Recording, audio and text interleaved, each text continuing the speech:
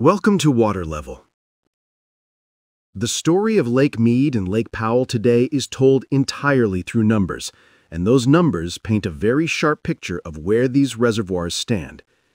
At Lake Mead, the latest recorded elevation is 1,056.72 feet, taken on Thursday, September 25, 2025. This puts Mead nearly 163 feet below full pool, which is an elevation of 1,219.60 feet. In terms of storage, the reservoir is holding just 31.6% of its full capacity, which equals 25,087,000 acre-feet when completely full. That percentage translates to a lake that is significantly drawn down, carrying a volume that is less than one-third of what it was designed to hold.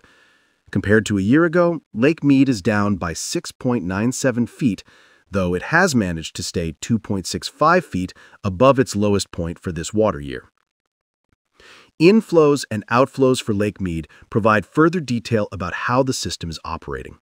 For water year 2025, total inflows reached 7,751,645 acre-feet. This number is just above 118% of the long-term September average, which would suggest a relatively strong inflow year on its own. However, the releases tell a different side of the story.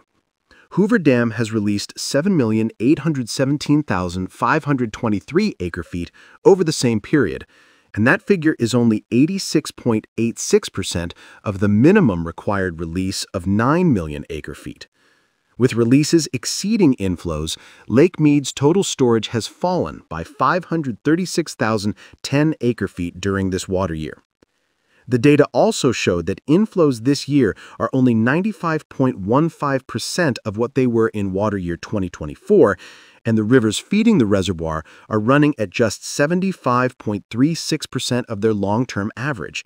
In simple terms, Mead is receiving less water than it is sending downstream, and the result is a shrinking storage volume that remains well below healthy levels. Looking at the chart of Lake Mead over the past month, we can see short-term movements that reflect daily management. At the start of September, the lake was hovering around 1,055.5 feet, and over the following two weeks, it climbed steadily, peaking near 1,057 feet by mid-September. After September 15th, the level began a gradual slide, drifting downward before flattening out and holding close to 1,056.5 feet through the end of the month. This kind of short-term variation is typical and reflects the delicate balance between inflows, releases, and local use. What stands out, however, is that even with small gains during the month, the larger picture remains one of a reservoir that is far from its design capacity with limited ability to recover quickly. Turning to Lake Powell, the situation is even more stark. As of the same reading date, September 25, 2025, Powell sits at an elevation of 3,545.12 feet. That places it about 154.88 feet below full pool, which is 3,700 feet. By volume, Powell is currently at just 27.86% of its capacity, holding far less than one-third of its designed storage of 24,322,000 acre-feet. The raw volume translates to over 2.2 trillion gallons of water, yet in terms of the system's design, it is still deeply depleted. Compared to a year ago, Powell has lost 33 feet of elevation.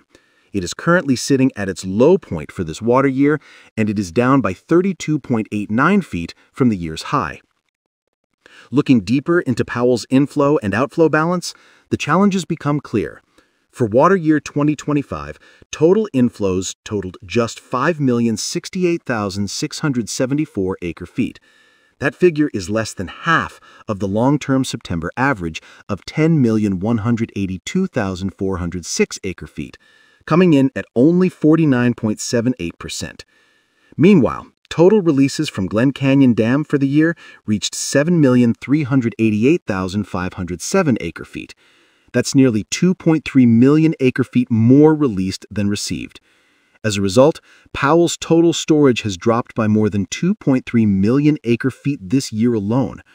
The 34 reservoirs upstream of Powell are currently holding only 68.96% of capacity, and the rivers feeding Powell are running at about 70.81% of their average for late September.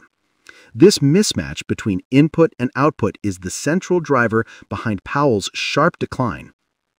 The water level chart for Lake Powell tells the same story in visual form. At the start of the 12-month period last fall, Powell's elevation was just below 3,580 feet. From that point forward, the trend was almost entirely downward. Through the winter months, levels slid gradually, and by spring the lake was already approaching 3,550 feet. A modest rise appeared in late June, pushing levels upward for a short period as runoff provided a brief surge of inflow. But by mid-July, that gain was erased, and the descent resumed. By September, Powell had dropped to just over 3,545 feet, marking the low for the water year. This chart highlights that even temporary improvements cannot outweigh the broader pattern of decline when releases continue to exceed inflows. When comparing the two reservoirs, one difference stands out. Mead has been able to hover and even gain slightly in short stretches, while Powell has shown a much steeper and more consistent decline. This is largely due to Powell's role as the upper reservoir in the system, feeding downstream obligations that include Lake Mead itself.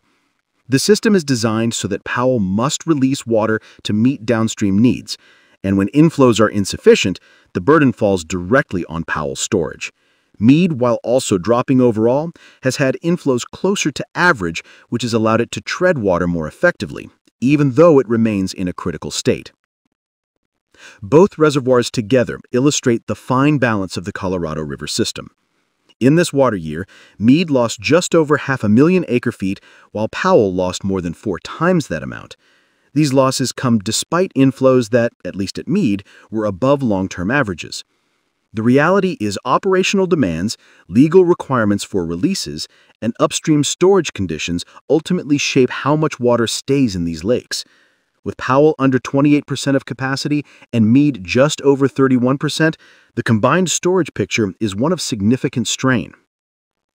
As the current water year comes to a close, the numbers highlight reservoirs that are carrying less water than they were a year ago. Mead is down nearly 7 feet year over year, and Powell is down more than 33 feet. The downstream obligations and upstream shortages are squeezing both lakes, leaving them far below their full pool levels and reducing their flexibility to meet future needs. Watching the numbers change day by day offers a reminder that every inflow, every release, and every foot of elevation is part of a larger story of water management in the Colorado River Basin. As we close this update, the numbers from both Lake Mead and Lake Powell make it clear how much every shift in elevation matters. These reservoirs remain well below their design capacities, and each foot gained or lost tells the story of balance between inflows and outflows. We'll continue tracking these changes closely day by day because the levels at Mead and Powell are not just statistics, they are the lifeline of the Colorado River system. Thank you for following along, and stay tuned for the next update on where the water stands.